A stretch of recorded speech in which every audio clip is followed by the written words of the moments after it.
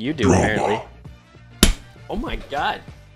She just got me with a microphone.